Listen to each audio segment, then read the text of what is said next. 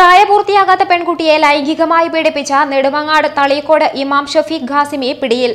ഇയാൾ എറണാകുളത്തെ അഭിഭാഷകനൊപ്പം കോടതിയിൽ മുൻകൂർ ജാമ്യാപേക്ഷ നൽകി മടങ്ങവെയാണ് അന്വേഷണ ഉദ്യോഗസ്ഥരുടെ പിടിയിലാകുന്നത്. ഡി എസ് പി അശോകന്റെ നേതൃത്വത്തിലുള്ള അന്വേഷണ സംഘമാണ് പ്രതിയെ പിടികൂടിയത്. ഇമാം ഷഫീഖ് ഖാസിമി ലൈംഗികമായി പീഡിപ്പിച്ച പതിനഞ്ച് വയസ്സുകാരിയെ പോലീസ് വൈദ്യപരിശോധനയ്ക്ക് വിധേയയാക്കി. ലൈംഗികമായി ഉപദ്രവിച്ചു എന്ന് തെളിയിക്കാനാണ് വൈദ്യപരിശോധനയെന്ന് പോലീസ് പറയുന്നു. പരിശോധനയിൽ ഇയാൾ പെൺകുട്ടിയെ പീഡിപ്പിച്ചതായി തെളിഞ്ഞതായി പോലീസ് പറഞ്ഞു. ഇയാൾക്കെതിരെ ലൈംഗിക പീഡനത്തിനുള്ള വകുപ്പുകളും എഫ്ഐആറിൽ ചേർക്കുമെന്നും ഡിവൈഎസ്പി അശോകൻ ടൈംസ് ഓഫ് ഇന്ത്യയോട് പറഞ്ഞു. ഗാസിമിക്കെതിരെ ഒരാഴ്ച കഴിഞ്ഞിട്ടും പോലീസ് കേസ് രജിസ്റ്റർ ചെയ്തിരുന്നില്ല.